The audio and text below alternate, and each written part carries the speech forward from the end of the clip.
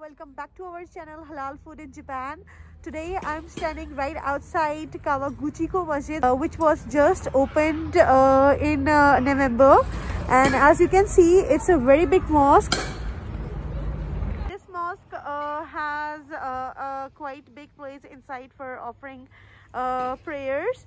And uh, plus like wuzu area and washrooms and shower area inside it so when uh, there is a prayer time uh, you can uh, come inside uh, the mosque and uh, both women and men uh, both can pray. And right now it's locked as it's early in the morning. And as you can see and you can also give donations uh, to this mosque. And they, uh, there is written the account number bank name and uh, bank account numbers codes etc on it. So muslims can uh, do donations as well. Plus this is a very nice uh, location. So just behind it there's kawaguchiko lake. So usually people come here and enjoy uh, over here uh, with their family as there is a ropeway uh, just uh, five minutes from here. And there is a lot of attractions near this. And very convenient.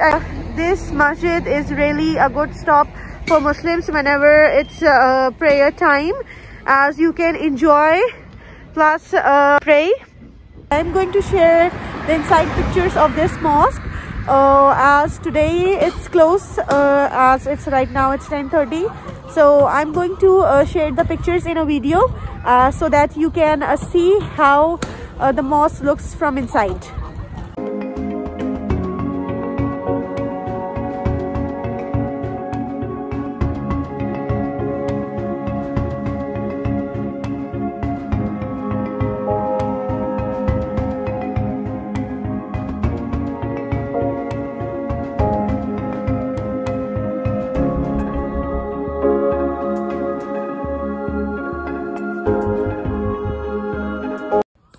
forget to like share and subscribe our channel.